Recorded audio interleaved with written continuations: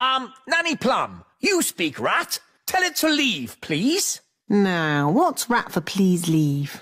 Oh, yes. Ahem. Get out of my kitchen! Oh, Nanny, you've hurt a rat's feelings. I think I can live with that.